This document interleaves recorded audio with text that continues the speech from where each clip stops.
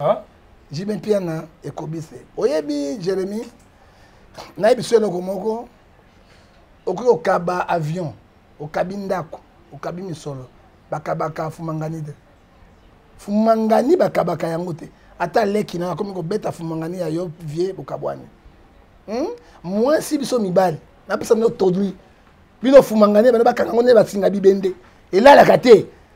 hein na ba biloko bozo melaka mabe mabe mabe oyo hein comment moi sinon Jérémie soko boye nanga na koluka pona ni je ne peux pas le faire mais soko ga viens na nga penza ah conflit koti wana ebele basi bavandi awa mais tisi ya liboso bozoloba ezalaki ya mama lia hein Hein? omoi biloko bankoro papa boma mama eh, nini mutu rouge eh, kita mata eh, biloko mosusu babindongo yango ekoki kopesa bino fumangani evandaka te tokosala bino kaliso ya bibende sadi kua eh. eloko ezoleka na internet mwa nalingi yango te mwana soki atrahi papa na ye akomi lokola serpent venimi kebisa daniles tika nkombo ya kimse tika kombo ya maître gims gims a moninga na bino te moto ya mbongo azalaka moninga moto te gims maître gims a na 500 000 dollars awa apesi bato wana eh, bayebisaki bino a na 185 000 dollars abimisi bato na maternité jérémi yo oyebi yango obombaka information nalobi nakebisi atika gims non nakebisi atika maître gims James a moninga na bango te moto un vrai patriote oyo alingi mboka oyo akoki kosangisa na maboko na makila andimi valeur ya mboka na ye na moto apesa na don azobimisa bato maya complice na gagame na bato wana qui est le plus patriote hein? et puis gims soki mekofi olobi talabaka na ye te azali likolo na nyonso hein? ngai na yo na moto tomataka se ya a mais gims ata na vol privé na ye jet privé ana bavio papa bato oyo epai oyo atamaka komona yango nini lapanda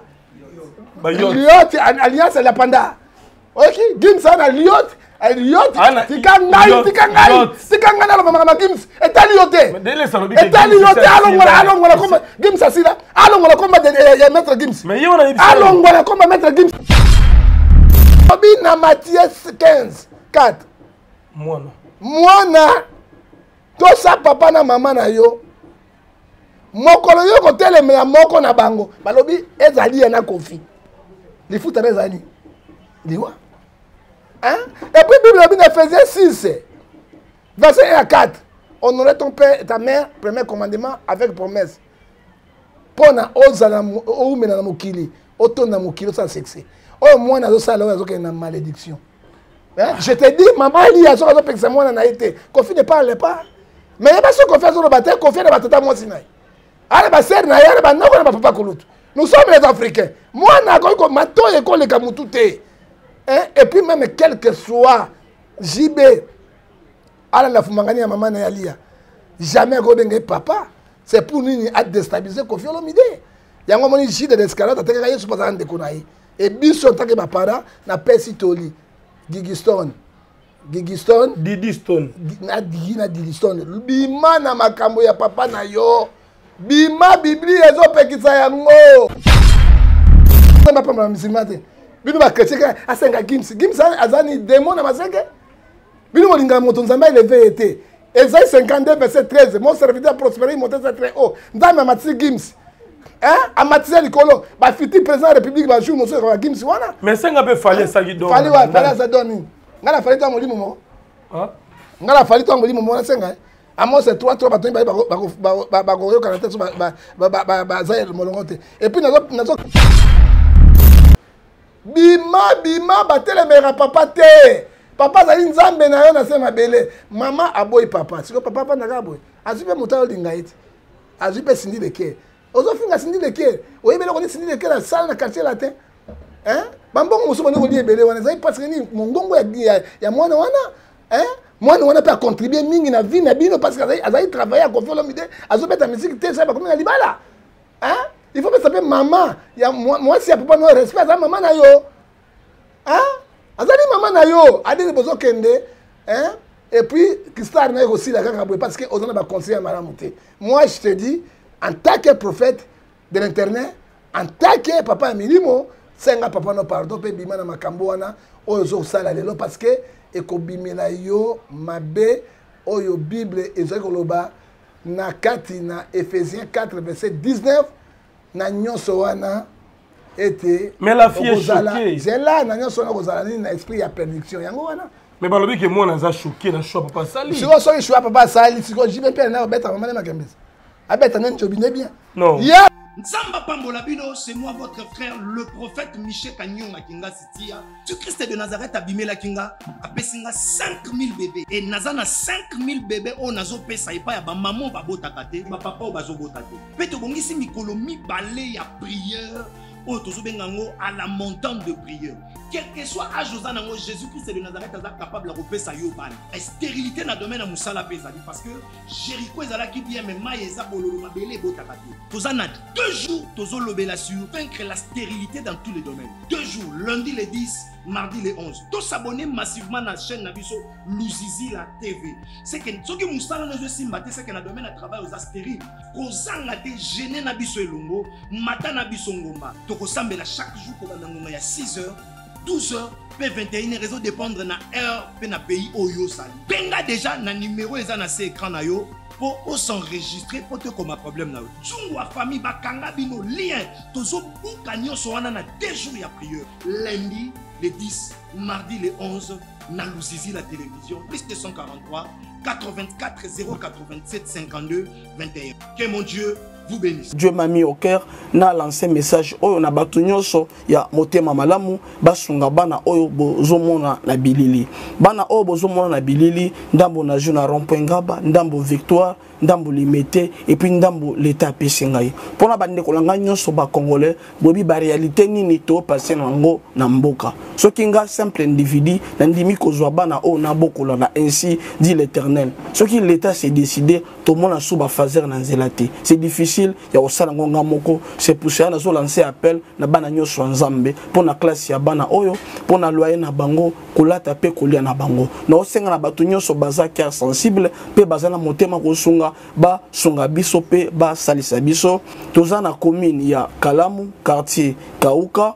référence ya monene tokangami na université kimbangiste aveni nkombo na yango eza marin numero 16 numero ya telefone na biso mpo na bato balingi bacontacte biso mpo na badetail mosusu eza plus 243 89 72 32 229 nzambe apambola bato nyonso oyo bakoasiste biso merci beaucoup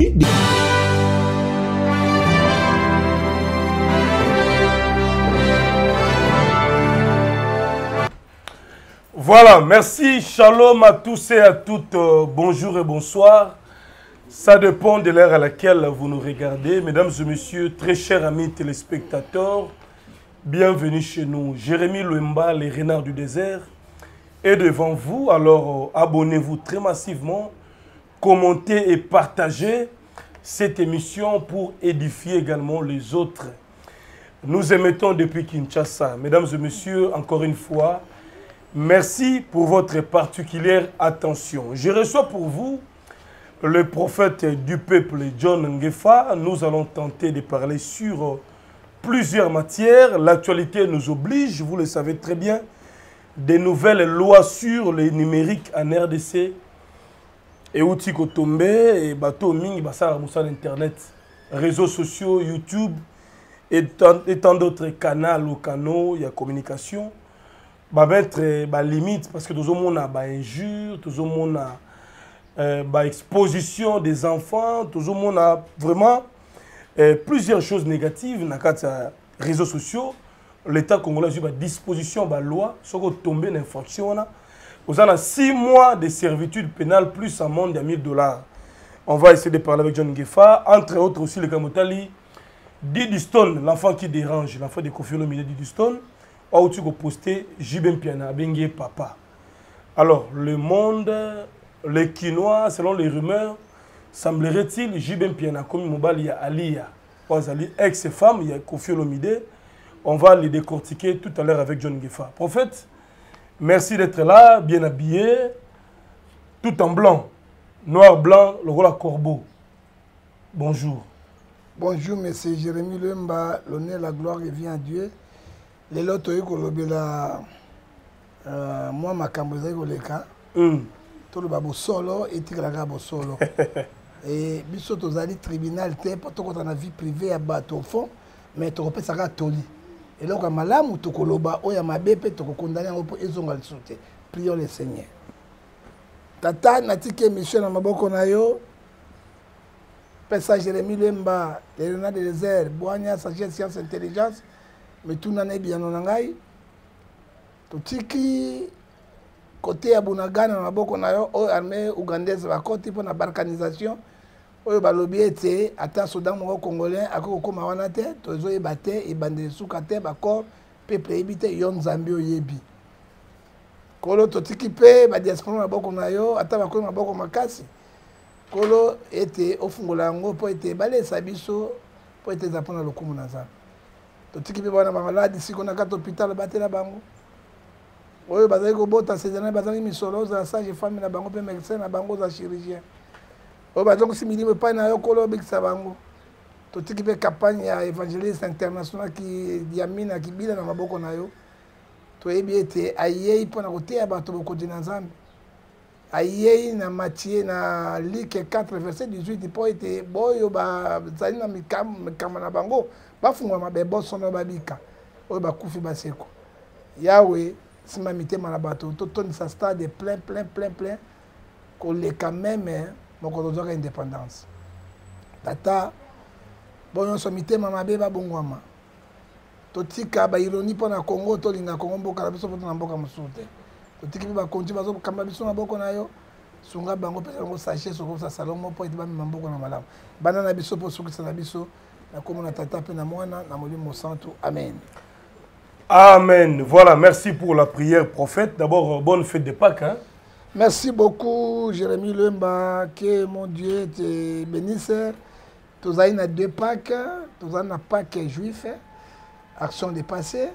oyo balobaka ete moïse baboma nyama meme batia na leto na bango mpe toza na pake ya la mort et la résurrection de seigneur jésus christ biso bachrétien tocelebraka pake juif te tocelebraka pake chrétien ke nzambe apambola bao nyonso bazolanda biso pake elamu mpe eyenga elamu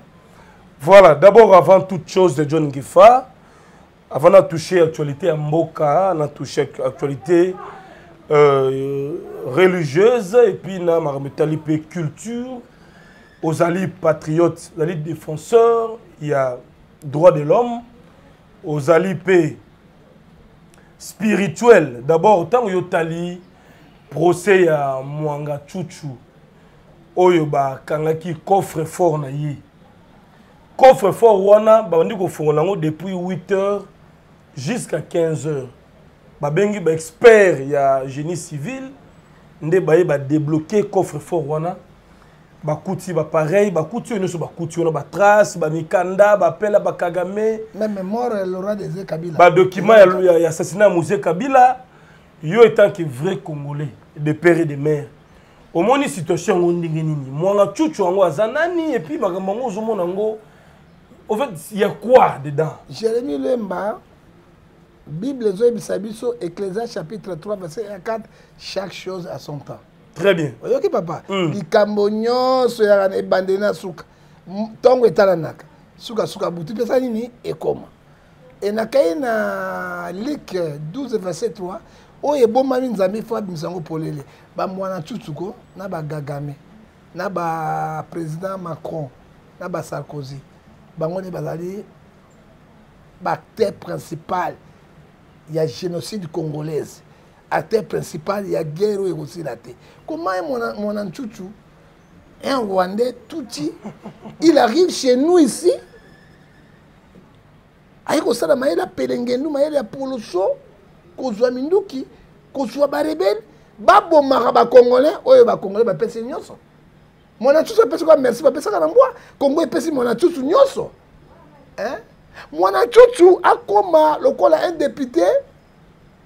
le plus riche azo ko manipuler république mobimba azo manipuler ba sénateur azo manipuler ba ba ba, ba député azo manipuler tout le monde na ba généraux parce que aza na mbongo ya makila baobenga ye le seigneur ya coltan oyoki nakoyebisa yo hmm. proverbe ayebisi biso 24 verset 20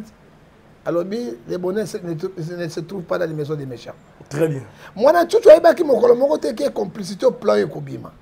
nzambe na bapriere na bolingo na bosalisani on a arrêté mwana cucu union européen ebengi baambassadeur nyonso ya union européen baye na négociation pa président tshisekedi na gouvernement na ye baprésident république barwanda bouganda burundi bakomi na menace qui est mwana cucu mais il est simple député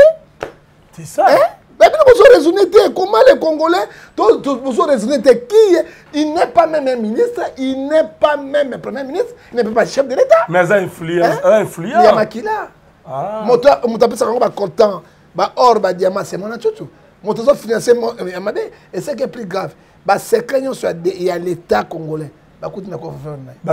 ye tokuti baguerre tokuti bafinancement celui qui finance tokuti bapele bagagame baprésident tout oyo nde basona tisekei basona monancutu mais si okamisa ngai eloko bosona premier ministre bosona monancutu donc plan ya balkanisation bakuti yango wana ce qui est plus grave mora laurent ze kabila monancutu aza na kati bakuti badocument ti assassinat na bana koyebisa bino te quand tisekedi vie ce n'est pas son armée hein? Hein? bible eyebisi biso some sa 27 verset 10 elobi boye eh, verset 3 3 adi elobi boye soki moto azongi batela soki nzambe abateli te ezali nani pamba bakuti dossier ya assassinat ya président tshisekedi en cours en cours e président tshisekedi nzambe alingi e nzambe alingi tata oyo mingi e on doit prier beaucoup pour tshisekedi ero toluka mpe parce que tala lelo na bana koloba yango kala te amos 37 dieu ne fait rien sans toute va reve secret serviteur oyo ebimi ezali condamné na biso tshisekedi sera aussi martyr naloba na yo te naloba na émission te nalobi tokeba makasi tshisekedi akozala martyr mpo na congo hmm. tala lelo oyo nzambe alingi liwa na ye te alingi plan moko oh, ya, ya diable te abimisi yango polele donc plan ya assassinat tshisekedi ekei lelo oyo toza na bango te suka mwana tutu il faut bakondamne ye 85 ans ya prison donc ferme et puis abima mokolo moko te e basejour na ye nyonso ya vie esila awa e, parce que bamosusu basala yango mais il paraît azosenga mpe euh, liberté provisoire azobela po basoigne yango bango tobabelaka na prison mabelaka libanda te na prison hein? et puis yo mona na Congo soki bamisi moto liberté provisoire azonga suna bango akimi libela hein? ake libela azongaka oyo oh, tu babimisa ye mais il faut tosengi na justice na article 151 ya constitution ya indépendant hein? notre justice n'est pas indépendant il est influencé par les autorités il est influencé par les occidentaux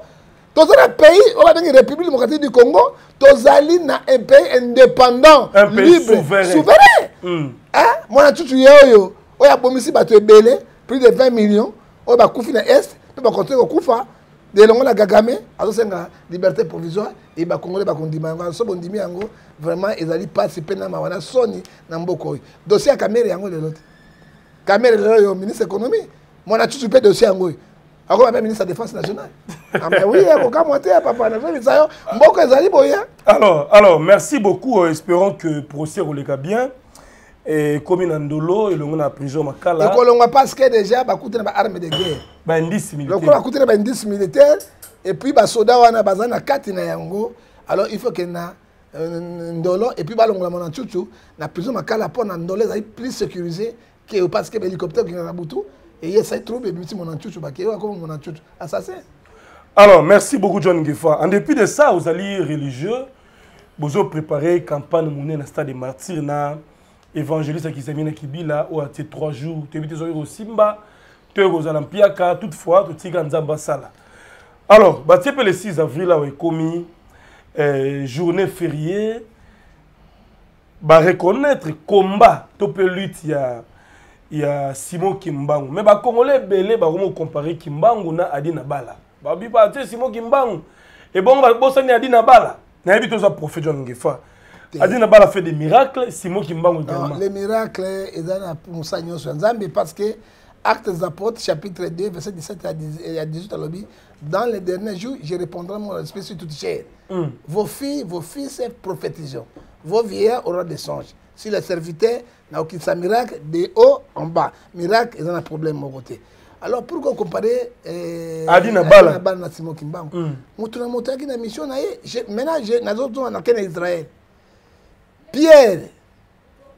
il est un pécheur un homme charismatique et bien pierre soki azwi eh, ombre na ezalaki koleka boye bato bazali kobika mm. mais paul azalaki ete soki yasi mouchoir na tie boye bato bazali kobika alors okocompare pierre na paul te ezali mission nzambe apesi na moto na moto ntango eh, eh, timo kimbangu azali adini abala mbala mosusu abotami te très bien il faut koyeba yango baepoke wana eza différente ezali epoke moko te eh eh ozo komona oyebi simo kimbango place wana ata mai na eh, boloko na mai na awa na matadi lokolo lokolo tomona yango na lebima c'est comme jésus mpe ayantaki mai israel ezali komona na yango alors ntango na ye ekomaki babomaki mpo na déclaration ya indépendance et puis azalaki un homme bamonaki un noir charismatique oyo bato bazoyoka ye aza na esprit saint ya nzambe soki totiki moto oyo vraiment kopesa mobulu babomaki ye parce que Matthieu 24 la Bible 9 awa ba ko biso na ba tribunaux ba ko boma biso à cause ya kombo ya Yesu mm. Simon Kimbangu faisait les miracles au nom de Jésus Simon Kimbangu il, il prêchait au nom de Jésus tango ya kei ba flama ba bomi ari ko kufa na boloko ya ya, ya Lumbashi kuna ba bomi eleki mibu ebele ebele ebele Nzambe aye ko simba président Tshisekedi ke apesa journée wana ezala ville euh, chemin est payé où est le mal hein? où est le mal et simon kimbango soki oke awa batanga kombo na mindele mm. na bahindo partout en afrique partout dans le monde mais soki lelo oyo babimisi simon kimbango catholique babimisa noarita te hein? alors soki biso bimisi simon kimbango où est le mal moi je ne suis pas kimbanguiste mais je reconnais il y a un grand prophète noir qui est à paris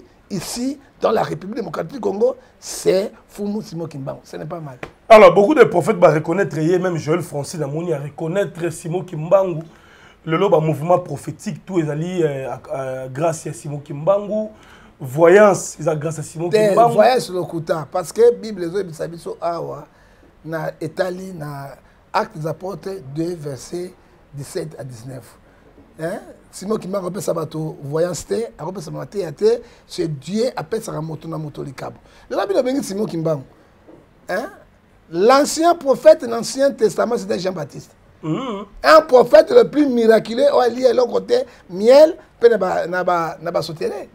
Eh, ye nde abatisaki jésus sikoyo koloba nini mai na kati na bokonzi na nzambe le plus grand kulu na bongoli motema akoti na bokonzi na nzambe aleki jean baptiste na monene cestadire kua eza makambo na nzambe ozomona banzambe na biso mosusu badon prophétique badon ya prophétie bamosusu baguérison ça dépend aponi bamisusu l'ephésiens 4 verset 11 euh, baprophète bapotre baministre comparaison n'est pas raison ndenge nzambe asalelaka yo akosalela boye te adina bana nous reconnaissons c'est père de l'église de vin adi na bala azalaki ye moko te soki ya père d'église réveil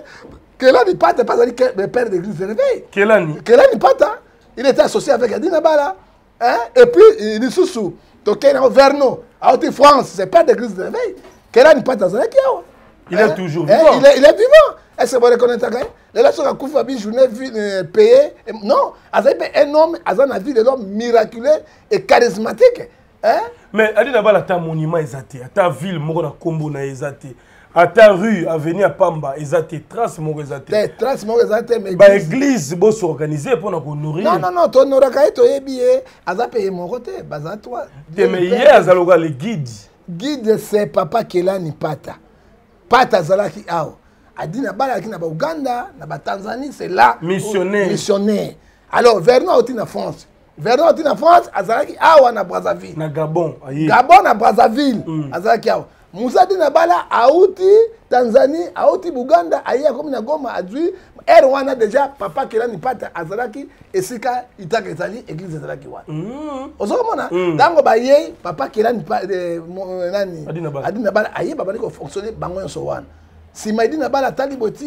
ekoki te akei na ita na place oyo nini oyo batia temple ya ya nini wana akei kotia wana ezalaki mpe bare eh? kala mingi te mpe everno alaki kuna akatisi akuti kaka papa kelani pata wana everno asali asali te akei na ipene afungoli yango lelo oyo kelani pata akufa verno akufa kiele oyo atikela monima nani ezali papa kelani ali na bala akufa na verno verno akufa sikoyo papa kelani pata atikali pourquoi meme pouvoir oyo ekoki koreconnaitre papa na ebenga ye te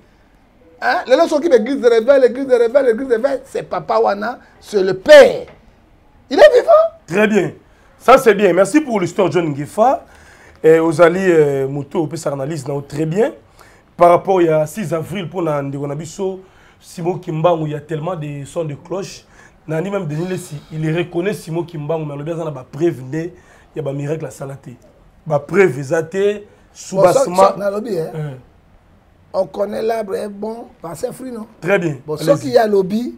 a reconnaître ye a connaître miracle na ye te ntina moko reconnaître bapreuve nde eza te bapreuve eza te ntina koreconnaître eza te ah. eh, ezali na sens te simon kimbangu azalaki homme miraculeux et charismatique et il prêchait il faisait le miracle au nom de jésus alors toko reconnaître soso il faut reconnaître bana na ye alors john gefa point de vue nous par rapport ya décision l'état congolais azwi par rapport ba nouvelle loi sur le numérique na congo ekoma soki oyo ofingi mama ya mutu na internet on te poursuit pas en justice baomonaka kaka eza biloko na bango makelele mais lelo na actuel gouvernement ebandi sikawa bazwi badécision tozomona garçon moko alekaka na mwana wana bengaka bebe majabu bakangi garçon wana parce que azali koexpose mwana ya bato aza mineur oh. basi loi ya congo ezalaka na suivi te oh, bakosala nini toza ngano awa soki mafinga ekozonga na internet moi je condamne les injures parce que mpia chapitre 3 9 elobi les injures sont condamnable à la loi tokei na code pénal ya mboka na biso article 75 ya constitution epekisi bainjure peine yango ezalaka 2 mois à 6 mois avec une amende de 2 millions de dollars 2000 dollars mpo na amende yango alors soki loi ebimi moi je suis d'accord moto fumangani libanda bakende internet moto akota na toilette akende internet moto aye na conflit ya moto songolo ebembe ya mama na yo tout sala tufi oyo ngai nazomona eza bato baza immature est ce que na batiktok immature eh? moto azobina motakala eh, eh, eh, eh, fumangani ekóma lokola lipa na mateka ozomona alors soki gouvernement congolais azwi yango na d'autre part Euh, eza bien mais soki tolandi sika oyo na kati ya banini ya liberté d'expression mm. déjà bango baviole parce que liberté d'expression epekisi te mindele komona yango mitakala kuna te papa mais eza culture na eh, biso te non mais culture na biso te biso awa youtube na biso facebook whatsapp nalobi lesbienne euti wapi kotala yango te kotala kotala non baseta ba homosexuel euti wapi kotala yango nde bamemeli biso eh, ozo komona yango basi ya biso bakongole bataki bapantalon africain bapantalon utabe epai na bango te alors là loi wana sefsir mais gouvernement congolais akozwa problème sévère oh. parce que bakopoursuivre ye ko na liberté d'expression eza te mais ngai en tant que pasteur en tant que un homme de dieu napesi na code pénal ya république batangaka article 75 eh? lifuta nini ya injure napesi bino na 1 pierre chapitre 3 verset 9 nzambe azokondane injure severement alors soki ekebe eza bien mais ezolekisa eh? mais yo omonaki amanika ye o oh, fali abima na sindi eza badifamation bazopursua biloko wana owa oh, moto mosusu wana kofinga mama musicien surtout koto ya chronique musicale mama nika asala na prison combien de jours asaka de soki un jour un jour est-ce akobonga eza impossible nde ah. namoni mama mosusu ya théâtre bazofinga na mami te mopende ya mami nike moke oka loboko na ngai koma alongwa bilamba toyi mopende yango ya moke ndenge nini alors batele benjile bana oyo ya biso bazolanda yango tozolona nini hein jérémi tozolona nini mentalité hein? zéro mais bible ezobebisa biso na romain 12 15 17 abi soki moto asala mabe limbisa ye soki moto ana posa mai pesa ye ana nzela pesa ye na nyonso wana akozwa makala moto na motu na ye ese totanga biblia oyo tozomona na congo eleki koleka mhm. mpo na ngai loi wana eza l'applique laisse eh, aller eleki koleka koma moto akozala bainjure facile baimpoli baimpoli na baimpoli injure facile boye epuis soki yango na kosenga mpe loi yango ekende mpe na poto bato ebele bakokangama mais ozonga mpe na poto bapoto bakosala yango te mpasi baza liberté d'expression na article 23 elobi yango mais mabe malheureusement jérémi lwemba na mboka na biso suivi ezalaka te balobi yango ekokende na bubulence ok après un mois deux mois belgile ezongi lisusu ata bato wana bokangi bango bakotia yango na kala bakosala mwa boye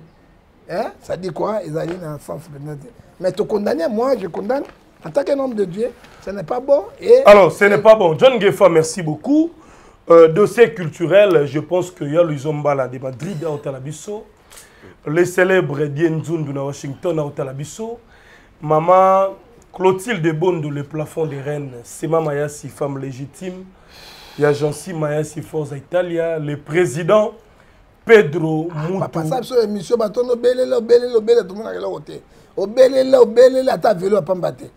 sala biso émission bato basenga na bino eh, tala loi mosu ebima so joesa bandi mabanga le bozwi bokangi mpe ye akofuta mani baloba makambo ya verité banda kobenga bato na muse pedro banani tutu mamayasi te eh, papa eh, te otamaka na makolo te lelo kaka na makolo jeremi no makotama makolo na ebele ya bato obelelaka bango non le monde est méchant papa Matthieu 10 verset 9 mm. l'ouvrier mérite son salaire mpe ezalaka na azwi mbongo na nini fimbo fimbo fimbo yango wana bazili azwi nini Hein? Eh, mais yo bosengi maître gims ya bosuki non non non maître gims nasengi bato ebele basenga mais hein? comment pasteur akosenga payen mbongo atonga église merci beaucoup yo ozoloba na yo so opesa nga yo ozoloba mpo na maître gims ngai nazobelela awa bapolisi bazoyoka yango te dale ngai naza libanda eglise nakoki kofutela mbongo wana ebele bapesi te eglise na pas d'argent nazali libanda nasengi bato nyonso ya bonne volonté ya motema malamu ata yo jérémi lemba okoki koparticipe te natuni yo nonnnnno nio fait la force oyebi yango mikakato tozala yango mm. nabeleli nani membre ya gouvernement apesi nga ata infra na ye nani diaspora oyo papa azwa ata boye apart mama kavira na kati états-unis nzambe apambola mama na bimi mpe na esika wana naza lobi pake nakosambela na bana wapi libanda alors namonaki ete mutu parce que gims n'est pas démon hein gims n'est pas démon gims na musulman ozomona meme lelo baza na kati ya ramadan esoda mi musulman gims maître gims n'est pas païen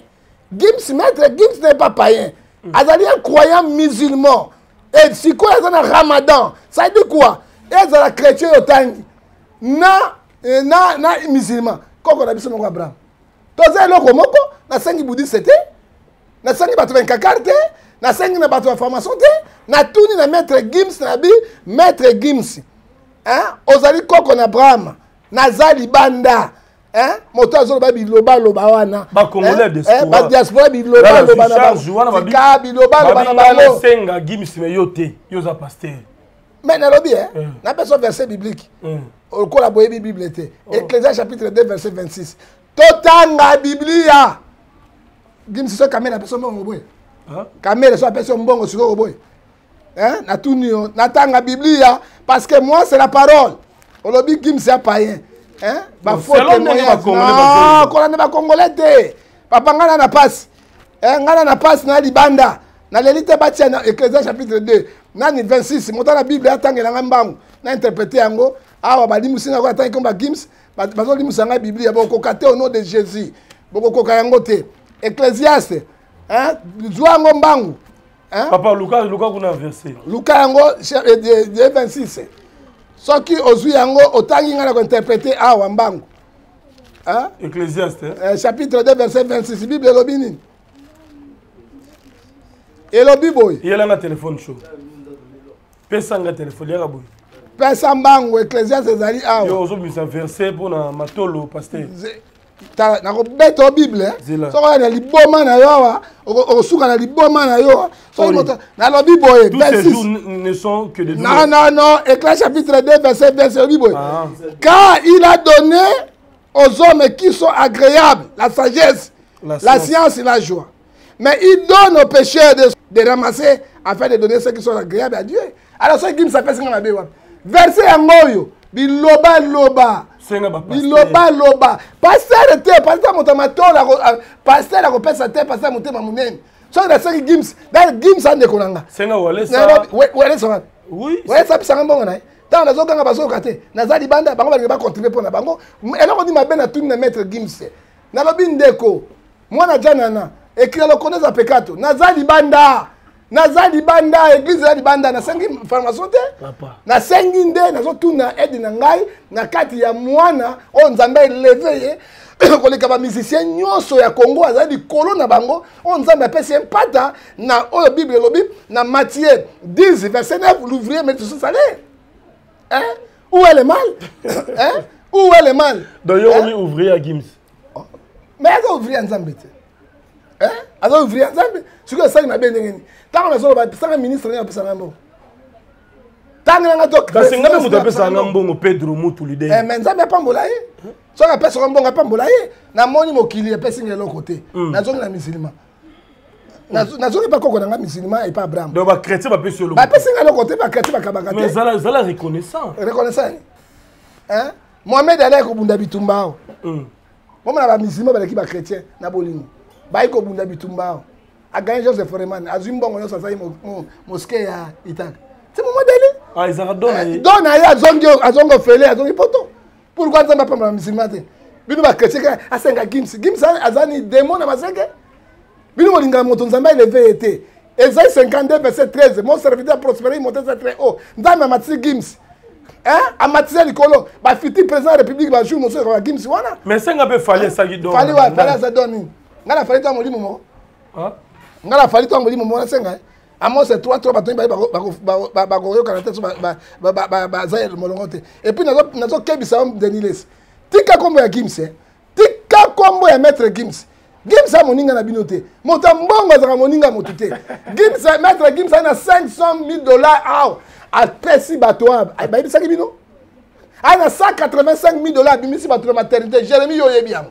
obombaka information pona mais yo okebisa lesi okebisa lesi nalobi nakebisi atika gims retire mosapi no non nakebisi atika maître gims gims a moninga na bango te moto ya vrai patriote oyo alingi mboka oyo akoki kosangisana maboko na makila andimi valeur ya mboka na ye na moto apesa badon azobimisa bato maya complice na kagame na bato wana qui est le plus patriote hein? et puis gims soki mekofo olobi ntalobaka na ye te azali likolo na nyonso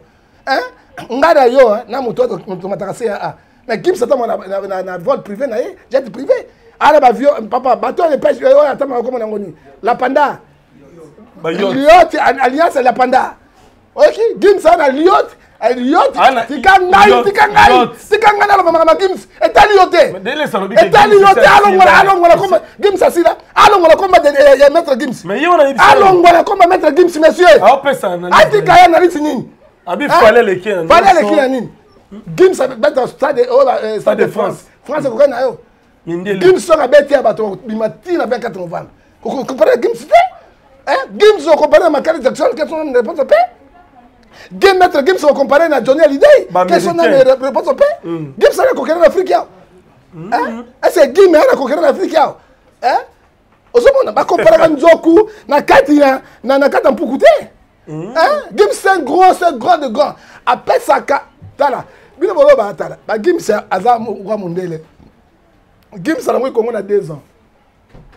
jérémi ndenge ozo bamaitre gims azolanda yo oui je sais ozoka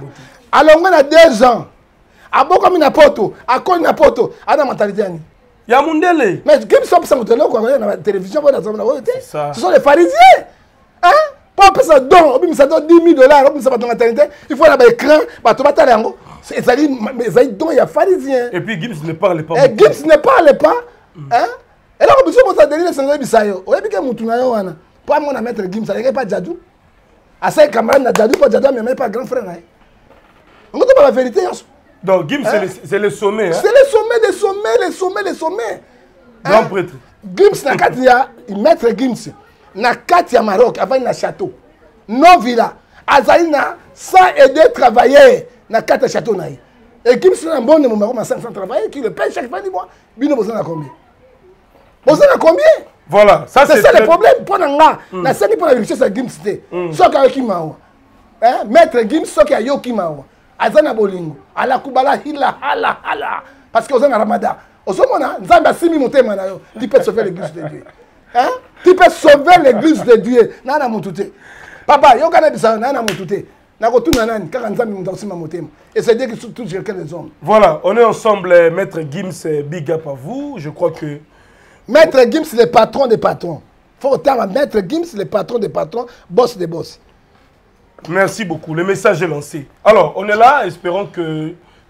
toute l'équipe ya maître gims bakotala biso nous vous saluons balandaka yo makasi jérémie parce que moi j'étais étonnant baotanga jérémie lemba tout cela malgré ozala contre gims gims yelo aprépare yo déjà billet ya france ya états-unis aprépare ya maroc Très bien. Soko zoe bango te je n'ai informé yo. Nous serons là. Ah, nous serons là. Aza mwana mboka. Aza mwana mboka patriote. Aya ka silence. Nous sommes une église au milieu du village. Toko appuyer ce qu'il faut appuyer. Toko soutenir ba idée.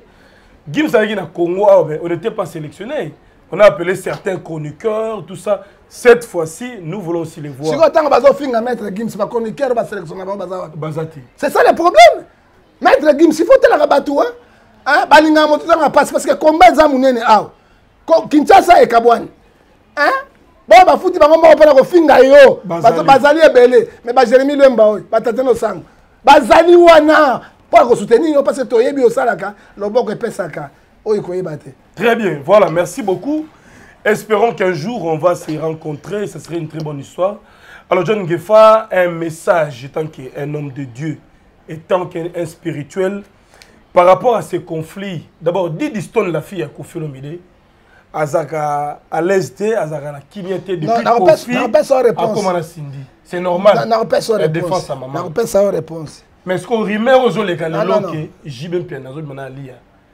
ba jibe mpiana bekobise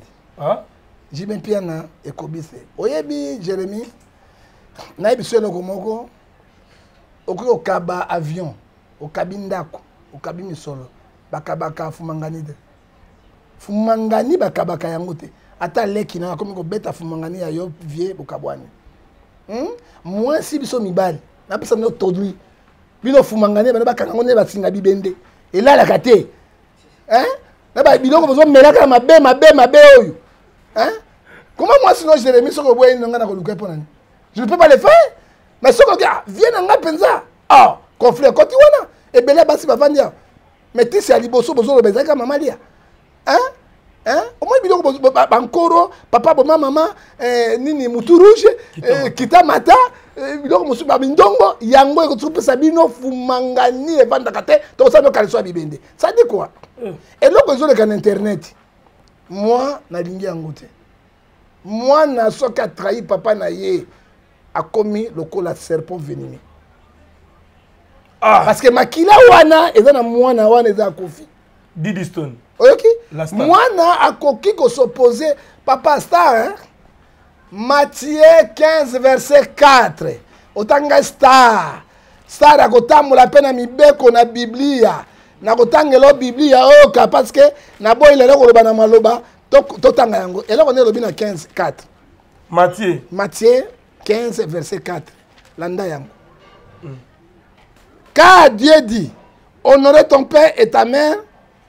c'est le premier commandement celui qui maudira ou s'opposera avec son père ou sa mère sera puni de mort c'est la bible ekati Hmm, donc on hein? ne peut pas s'opposer à ces Mais c'est ça Naboyi koloba na maloba parce quand je parle boye o oh, biblia ni nzambe asopanga biblia na mutu soki nazalaki musulman nakoma imam nazalaki bana imam moko radical imam moko oyo ezopesa mpenza coran ya kosakana te malgre mboka na biso erekonetraka moto te moko ngai na kokufa nde bakopesa ngai medaille eh, ndenge nazala napesa medaille te balobi na matie 15 4 mwana mwana tosa papa na mama na yo mokolo yo kotelemela moko na bango balobi ezali ye na kofi lifuta na ezali liwa epuis bible elobi na efesie 6 verset 1 à 4 honore ton père et ta mère premier commandement avec promesse mpo na ozala oumela na mokili otonda mokili osala sexe oyo mwana azosala oyo azokende na malédiction eh, je te dis mama aliya soki azopekisa mwana na ye te kofi ne parle pas mais yeba soki kofi azoloba te kofi na batata mwasi na ye ana basere na ye ana banoko na bapapa kulutu nous sommes les africains mwana akoki komatoyo ekoleka motu te eh, et puis même quelque soit jb alanda fumangani ya mama na ye aliya jamais akobenga ye papa c'est pour nini a déstabiliser Koffi Olomide yango amoni jide d'escalade atekaka yesu bazala ndeko na ye e biso ntake bapara na pesi toli gigistone gigistone didistone na digi na didistone bima na makambo ya papa na yo bima biblia ezopekisa yango bima bima batelemela papa te papa azali nzambe na yo na se mabele mama aboyi papa siko papa afanda kaka boye azwi mpe moto ayolinga ye te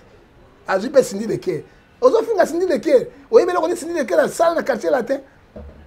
bambongo mosusu bandi kolia ebele wana ezali parce que nini mongongo ya mwana wana mwana wana mpe acontribue mingi na vie na bino parce que azali travaille ya kofi olomide azobeta miziki te sa bakomi na libala il faut pesa mpe mama ya mwasi ya papa noyo respect aza mama na yo hein? azali mama na yo adini bozokende hein? et puis kistar naye kosila kaka boye parce que oza na baconseil ya malamu te moi je te dis en tant que prophète de l'internet en tant que papa ya milimo senga papa no pardon mpe bima na makambo wana oyo ozosala lelo parce que ekobimela yo mabe oyo bible ezali koloba na kati na ephésiens 4 verset 19 na nyonso wana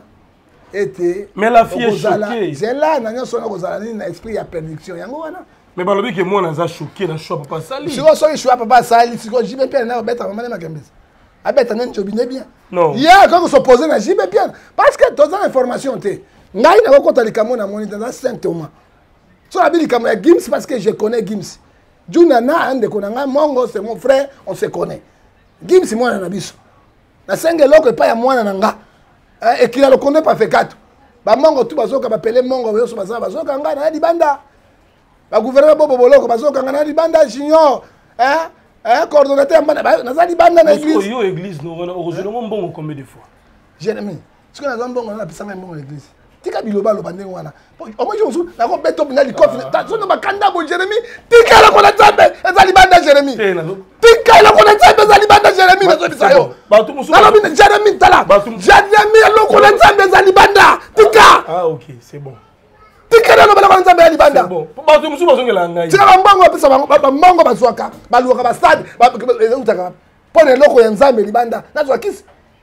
nazwa kisi nazwa kisi naboma bato nazolilona bato nyonso bonne volonté yo asi batapoto babisa bato mbongo combien 50 dollars 100 dollars so batindi to 3 fois 4 fois 400 dollars 400 dollars osala kozwa osoma mabele osoma église wana osomaka porte osomaka porte yo kasi combien mbongo bakosenga te na ya libanda donc bambongo osengaka liboso boyede boyede mbongo malongo eyaka te mbongo malongo ekomama ya 1000 dollars te kaka ba 50 eh, sauf mama nzambe apambola yo na états-unis d'amérique eh, mama kavira, eh, kavira eh, ce prix de 3000 dollars atindaki yango moke moke moke ongo nasomaki bainstrument nasalaki napesaki mpe garanti eh? me oyo ozoka wana tout okalkile yango boye 350 dollars 400 dollars rien du tout eh, rien du tout yango nasengi nakepa ndeko na ngai ça c'est bien john ngefa obeti lisolo ya baindi ya mwana biso didi stone obeti masolo ya barumeur ntango nazoloba boye kofelo milayoka te azolanda ngai mais ye mpe sikoyo moni mabe akofi azolanda te azolanda ngai sikoyo nde koexpose bolingo nde na sindi te eza bolingo tindi ya mwana moke ya eh, mai na mafuta eza papa mhm. eh, il faut asavoure eh, kofi avie te problème te kofi baluki moto akolinga ye epuis akomi jeune akomi boga bakwafa sika problème eza te mm. ngai nakondani jime piana abima na makambo wana mais sikoyo ndenge sikoyo jime piana asala vengeance te ah. lokola kamere asali azongisa vengeance eh, epai ya ekofi te eh, nzambe alingi vengeance te nzambe alingi pardon ozomona eloko asali vengeance te jusque-là toyebi no bien te mais toyebi mpe te yango tozoloba soki ezali yango nous condamnons ephésiens 4 verset 11 ephésiens 5 verset 11 nous condamnons nous condamnons soki eza vrai bongo soki odidistone nanga publie papa jb a publié JB a commis papa Didison hein ouais. l'olène d'orgueil 1 Pierre chapitre 5 verset 5 Dieu résiste aux orgueilleux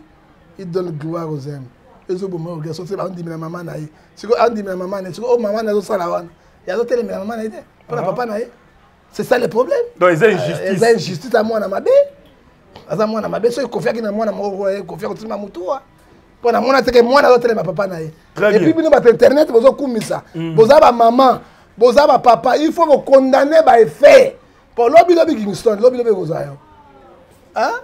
tala mwana ya masa na ngai jean eh, bienvenu oyo azali na kati ya marseille na france akei na cameroun abali mwasi na bana mibale ya mike mm. abokoli bango ti bana bakoli bakomi na france so bienvenu anga agangela mwasi na ye bana na batelemi oh. sukasuka nini babetaki bienvenu babete kuba kuba kuba mbebu tu ezoki bana ya mbanda oyoki mais bana ya bienvenu abota na mosopo na ye bakoki kosimbe na nzoto parce que bienvenu baboti na mwasi wana cameroun bana misato me baza mike me oyo akutaki bango eloko gigisa osa erere yango wana hein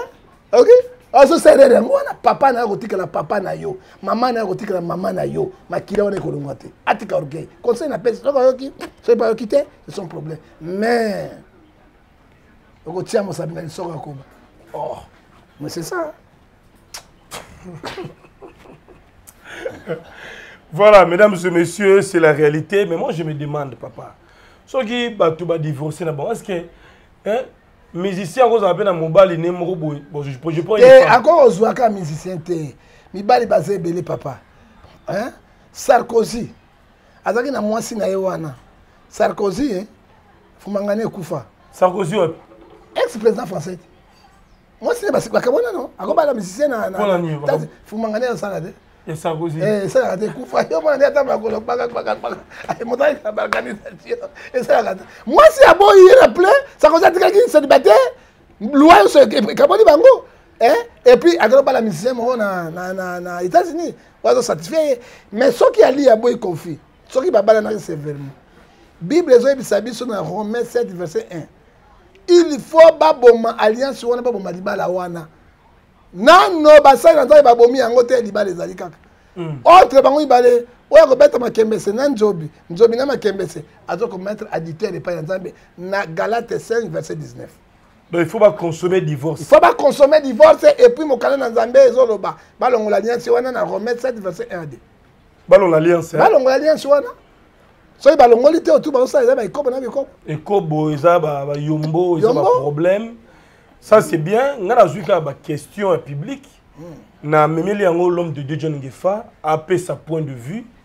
asali lecture asali analyse na ye par rapport ya situation de l'heure à condamner, à critiquer, en même temps à conseiller pe ba, ba couple, ba famille et surtout bana ba artistes. lovi ya baptiste mingi ekomi kaka expose na média na média malamu te baconflit interne bafamille expose na média omona mpe tata mwasi akoti yango noko akoti me bakotika kofi te kofi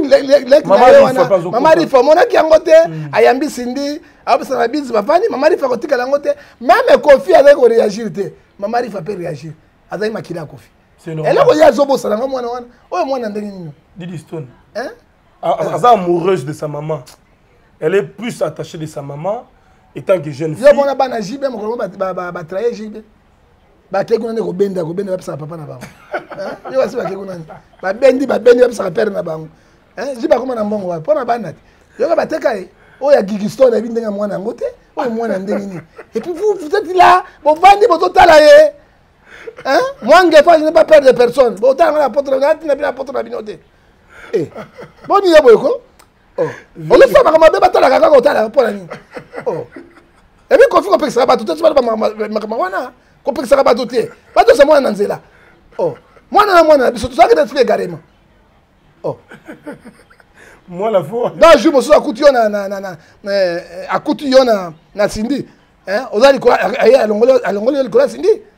mpo akosala yango ce qu'il fait azo expose yo kofi eki ye kofi azali un grand artiste congolais un ambassadeur un artiste chevronné yo mwana okoki kozala kosopose na papa na yo te ezalaka te Ah, boni boye ko azotalela bino boye titititititi boye yango boni oh. ngai lingaa makambo apesa ngai liboma na motu na ngai te oyoki oh. donc mwana abatela papa ya abatela papa na ye tata oposi na papa na ye likambo nini wana oh. ese kingston motu nde ezosala babondelaka ye mpo kingston asala makambo malamu ye boni ye boye eh, tala makambo sosanga kanda yango koseka te eh. mpo yo nde ozwa kanda ya kikiston epai na yo so abandi kokontinue ndenge wana mpo otindika kikiston tala mikolo na kozala abandi kobamba yo yo ozopesa kimia odi bino boyeko en tout cas makambo pardon merci beaucoup john ngefa banda mokili ebanda namona te banda mokili ebanda namona te bana wera baprotégea wera bana boye na protégea wera bene bana jibe bakepaka mene bazonduka bapesa pere na bango yoke batusha jibe jibe asaka makambo mana respect respect na papa na bango oh, boni ye boye oh. alors le message est lancé merci en tout cas na bandeko nyonso botala biso nous sommes en direct de kinshasa toyaka koanalyse par rapport ya situation par rapport ya bainformation par rapport ya barumeur on ne confirme rien mais on pose des questions si cela était vrai donc eza nango na conditionnel non eza vrai tozomona na tiktok papa eh, tout le monde na bareseau sociaux na bareseau sociaux c'est vrai alors mais déjà monde ya baartiste mpe ezalaka kaka misiki omona kaka mwasi ex ya moninga bazwi parce que biloko wana ezalaka nini puissance ya molili to eh, bazwaka bakisi Parce que tango ngai naza na yo,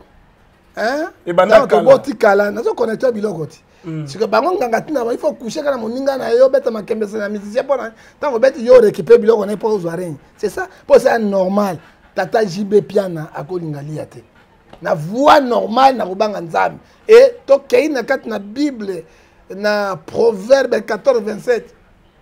la crainte de dieu c'est une source de vie pour détournement au piège des démons et piège des démons c'est ça basi ebele baboma mibali hein. oyebi etadami na ye te oyo okota bikotakota okozwa yombo oyebaki ntina te voilà milieu artistique eza na baréalité ebele ebanda kala masolo depuis zaire bamusicien bazalaka bongo baza kocourir derrière euh, bana baninga basi baninga alors il n'y a pas de fumée sans feu on ne confirme rien mais baréalité ezalaka mwa ebele Euh, merci à Mimi Ndoumé na Moshinglaba, Mimi ya Bandoumé na Moshinglaba. Que Dieu te bénisse. Maître Siza Soukama, puissance à Mikili, je vois également euh, bandeko nyonso batalaka biso vraiment président Pedro Mutu leader ya jeunesse association main dans la main depuis la ville Fontaine mais également à travers toute la France merci pour le soutien merci à tous les artistes sans discrimination toza ba congolais toza ba patriotes tolingana tozala ensemble ça ne sert à rien ya kofingaka ba musiciens kofinganaka oyo baza na niveau toyebi bango oyo basalaka baaction na congo toyebi bango balingaka congo bayebani c'est aussi pareil avec le pasteur bapasteur baza ebele oyo balingaka congo bayebani oyo balingi mpe congo te bayebani oyo balingaka baintere na bango bayebani bazokosa bakonzi bayebani donc euh, nous nous sommes là nous travaillons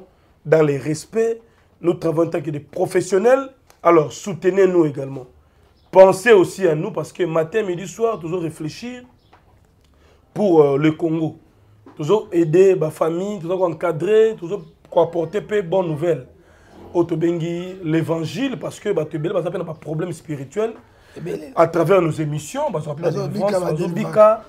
donc euh, c'est un peu ça voilà merci en tout cas encore une fois na boss chicha chimbu depuis Turquie, Gérard Saddam na Manchester. Manchester, un bon tonton. Un bon tonton, Gérard Saddam. Gérard Saddam. ye apesaka biso baveste chaque temps bamontre nzambe apambola yo apambola yo okende liboso il faut penser à nous eh, aussi La Bible dit, Jérémie, euh, Genèse chapitre 12, verset 3, eh, elobi je bénirai ceux qui te béniront. Nzambe mpe apambola lisusu eh, gouverneur Bobo Boloko Bolumbu esika ozali na Mbandaka, grand prêtre père otobenge tula nina bengai egaisola video azala kati na yo apambola bato nyonso oyo baza kosunga evre ya nkolo ekende liboso surtout maître gims tata bana ebele mm, champion des champions eh, comparable de aza mpela mai eh, soki omeli te okotongola kutu na mai eh, oyo bazotelemela bino tu bokotyola na mpela noe nzambe apambola bino apambola bino apambola bino voilà merci à notre conseiller papa philippe kabuiku na fribourg depuis switzerland bahomme de dieu nyonso euh, je pense na bishop dina ngama et mama magi ngama depuis caroline du nord mama fifi longo na londres atalaka biso mingi mama sara lina wembi na états-unis atalaka mpe biso mingi eh, bon séjour à kinshasa mon vieux batombo bobo mwana londres aza na kinshasa ah, omona ye nazalaki na ye déjà ah, bon. merci à nadine maifuila mwana bruxelles mpe aza na kin toza mm. ne toujours na communication mm, bon. toza ensemble pour de vrai sema mayasi femme légitime bon. agenci mayasi forza italia naopesa mbote na bato oyo bapansaka na ngai okay, c'est bon. oyo basungaka ngai provision ekota namela mai namela miliki kola apambola bino boza mingi yo so nano soutenir biso te pense mpe na biso papa claude kitenge na france le vieux sezo césar césar sezo na belgique voilà maître ah, gims asombela nga voiture merci beaucoup eh, po ye tembe te eh. ndenge ayoki yo kaka boye gims okozwa voiture jeep mpo apesaka voiture ya papa bajipe eh. parceke tata wana mwana wana na motema ya nzambe tika napambola na nkombo ya hala kubala hila hala hala ah. mais oui hein. okomi o musulman oh, mais la pasteur aza na imam ete mm. eh, oyebaka te pasteur eza imam c'est lui qui a la parole de dieu eh napamboli ye voilà merci tozo ba sikoyo aza na ramadan voilà azosambela on est ensemble maïsa le maire na monaco topesi yo mbote ainsi que toute la fin et les autres toza ensemble kola la liste est tellement longue je vais les retenir avec le temps alors bandeko nyonso kozalaka na biso piko kiedi joel molongeki na bermingham napesi bango to émission etalama mona émission eh. eza partagé partout tika eh, eh, baprofite merci beaucoup motuka asombela yo te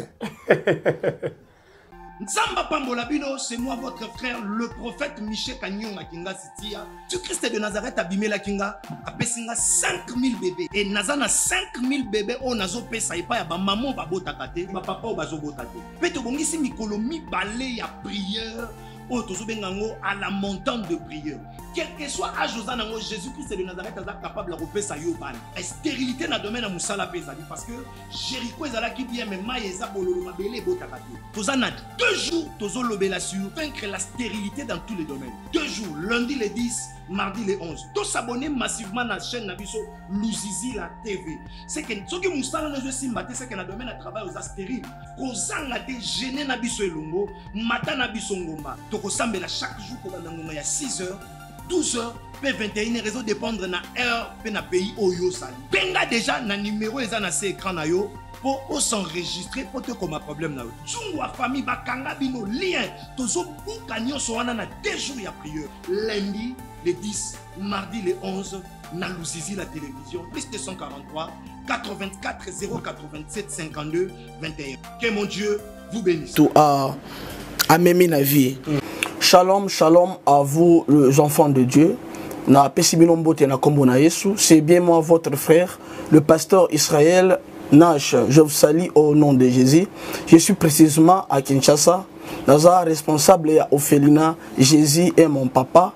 naye liboso na bino mpo na kopresente bino bana oyo bozomona na bilili mpe badifficulté toza nango nabandaki mosala oyo ça fait longtemps ya kobokola bana selon ainsi dit l'éternel mais badifficulté eza mingi difficulté ya loyer parce que tozofutela epuis difficulté ya kofutela bana minerval mpo tozwi tobandaki topesaki ye avance me etikali ndambo nazobanga ke bana oyo bakata classe bakoma nango na suka te c'est pour cela dieu m'a mis au cœur na lance message oyo na bato nyonso ya motema malamu basunga bana oyo bozomona na bilili bana oyo bozomona na bilili ndambo nazwi na rond point ngaba ndambo victoire ndambo limete epuis ndambo leta apesi ngai mpona bandeko na ngai nyonso bacongolais boyebi barealité nini topase na yango na mboka soki ngai simple individu nandimi kozwa bana oyo nabokola na ainsi dit l'éternel soki leta se décide tomona su bafaser na nzela te c'est difficile ya kosala yango nga moko c'est pour cela nazo lancer appel na bana nyonso ya nzambe mpo na classe ya bana oyo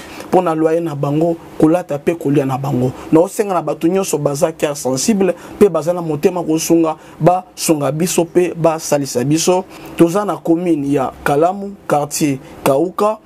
référence ya monene tokangami na université kimbangiste aveni nkombo na yango eza marin numero 16 numero ya telefone na biso mpo na bato balingi bacontacte biso mpo na badetail mosusu eza plus 243 89 72 32 229 nzambe apambola bato nyonso oyo bakoassiste biso merci beaucoup de santé nationale puissante chez docteur